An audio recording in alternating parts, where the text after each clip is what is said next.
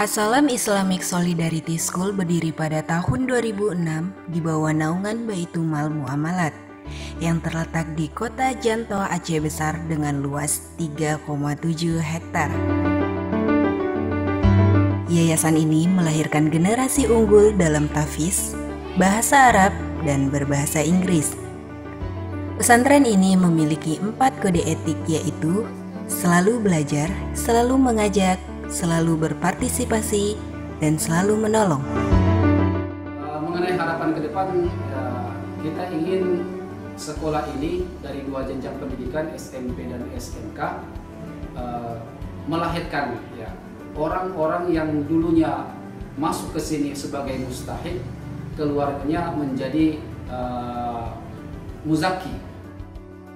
Pesantren ini memiliki fasilitas masjid jami, lab komputer, lab IPA, perpustakaan, ruang praktek jurusan dengan mesin cetak offset. Assalamualaikum warahmatullahi wabarakatuh. Saya Saza Azari, santri dari Asal. Asal itu banyak mengajarkan nilai-nilai moral kehidupan. Asal mengajarkan kami mentalitas menjadi seorang santri agar kuat dan bersabar.